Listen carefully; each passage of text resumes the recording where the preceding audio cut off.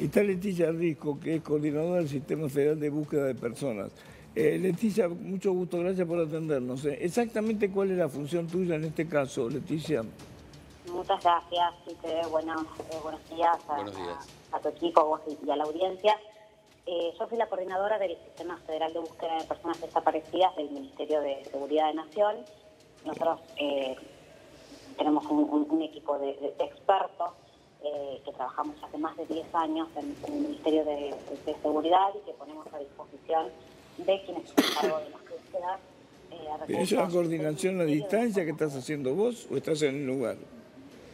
Sí, yo acabo de llegar a Buenos Aires, estuve hasta noche, hasta última hora, hasta muy tarde en, los patrillajes con los equipos federales eh, y hoy estamos, eh, estoy acá, el equipo quedó junto con las fuerzas porque hoy vamos a ofrecer habiendo pasado ya 48 horas desde la activación de la alerta Sofía, estamos por ofrecer una recompensa eh, de dinero por quien pueda aportar datos de, de Novan. ¿No se demoró, no se demoró demasiado la alerta Sofía? Nosotros inmediatamente, tenemos conocimiento, nos pusimos en contacto con el fiscal de la causa para poner a disposición recursos eh, y ese mismo momento se eh, tuvo una reunión con, quienes eh, participan de esta activación, que es la Procuración General de la Nación, la Secretaría de Protección de Niñez, y se decidió inmediatamente. De hecho, viajamos con un equipo y se movilizaron distintos equipos de las fuerzas federales. de hecho, recién la experta que estaba escuchando que, habló, hablaba de, el uso de, de perros.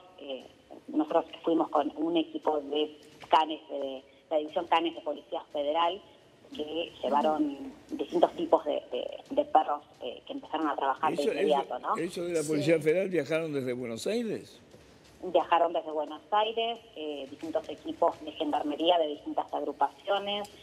Eh, también este, tuvimos prefectura que está participando con todo lo que es buzos y rastrillaje con kayak eh, además, nosotros como tenemos eh, distintos recursos que no son solamente fuerzas federales, sino eh, expertos como una como todo lo que es convenios con la Federación de Bomberos Voluntarios de Argentina, que está colaborando con equipos también de perros y de expertos en rastrillaje de provincias como Misiones, Entre Ríos, Chaco, el sistema provincial de Chaco también está dándonos una mano.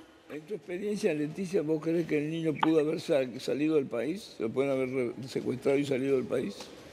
Sí, de todas las, eh, siempre se manejan todas las hipótesis, nunca se descarta ninguna, se tienen que trabajar todas las líneas de investigación, eh, se encuentra, eh, se lo busca por supuesto con vida y por eso se hacen distintos tipos de medidas como en el primer momento se solicitó, así como se puso eh, a través de un sistema que cuenta eh, con el que cuenta el Ministerio de Seguridad de Nación, que es el Sistema Federal de Comunicaciones Policiales, se puso a nivel nacional inmediatamente la búsqueda antes de, eh, de, lanzar el, programa Alerta Sofía.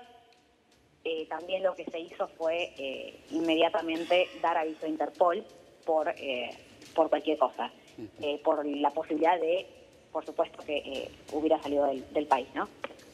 Leticia, te agradezco mucho la gentileza de atendernos. Te mando un saludo. Ojalá tengamos suerte, ¿no? Ojalá, ojalá, ojalá. Muchas gracias por la discusión.